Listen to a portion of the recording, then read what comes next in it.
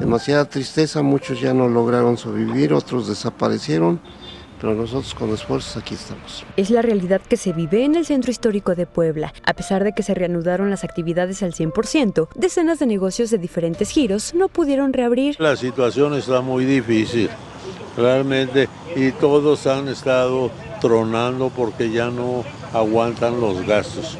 No hay, no hay este, efectivo y todo esto ha redundado en que muchas casas aquí en la 5 de mayo, en las adyacentes también, todas han estado cerrando. Son infinidad de comercios que han terminado su vida después de tantos años. La crisis económica nos absorbió completamente. En calles, desde la 2 hasta la 8 Oriente Poniente, que siempre se han caracterizado por ser un corredor comercial, hay muchos locales en renta y con la cortina abajo. Muchos están dejando, acaban de dejar el de acá adelante también. Sí. ¿Qué pasa? ¿No hay ventas? No hay ventas, señorita. Definitivamente las ventas bajaron un montón. Señorita, porque se da cuenta, también acá a la vuelta ya están rentando locales, en la otra calle, la mayoría estamos dejando locales.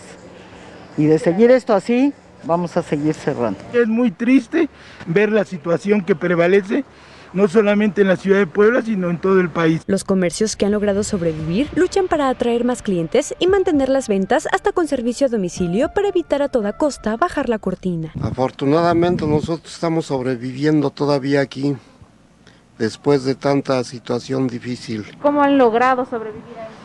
Gracias a que tengo clientes que les voy y les dejo a domicilio. y gracias a ellos pues pudimos subsistir aquí.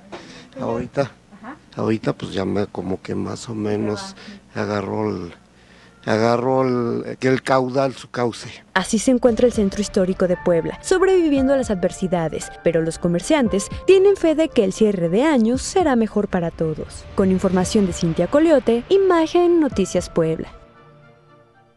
Los cierres para siempre de cortinas que no volverán a abrir en mucho tiempo. Los rentas, los precios de las rentas siguen altísimos y ello también al final del día genera que se aleje la posibilidad de una reactivación económica, ya no para esos negocios que murieron, sino para que en esos espacios vuelva a haber alguna dinámica diferente.